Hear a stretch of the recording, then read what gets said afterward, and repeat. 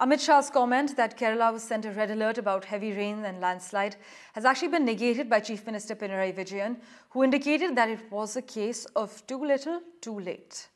He said not only was the rain warning way off mark, the red alerts came hours after the Wayanad tragedy.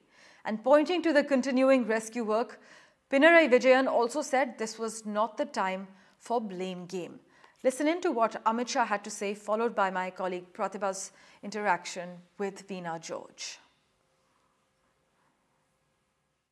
23 जुलाई को केरल सरकार को early warning Bharat सरकार की ओर से दे गई दी गई थी 23 जुलाई को सात दिन पहले फिर 24 को गई फिर 25 को गई 26 तारीख को मान्यवर ये कहा गया कि 20 सेंटीमीटर से ज़्यादा वर्षा होगी भारी वर्षा होगी लैंडस्लाइड होने की संभावना है मड भी रस होकर आ सकता है और लोग इसके अंदर दबकर मर भी सकते हैं Blame game with respect to um, Mr. Amit Shah also pointing fingers at uh, your government, talking about how an alert has already been issued, which was ignored. It's quite unfortunate that when Kerala is facing this kind of a huge huge tragedy, a natural disaster, a union government, uh, Sri Amit Shah, he's telling like this. So we have to, Honorable CM himself has responded to the, this uh, comment.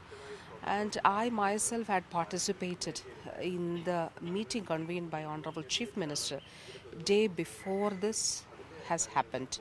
So in that meeting also, all the district collectors were there. We have checked every message we received from the union government. We had uh, uh, uh, alert messages on rain and that too orange alert, not even for red alert. Then orange alert and then in north, southern Kerala it was ye yellow alert. So this particular message, what Honorable Union Minister is telling about, Honorable CM has responded, the state has not received it, the Disaster Management Authority has responded that uh, we have not received it.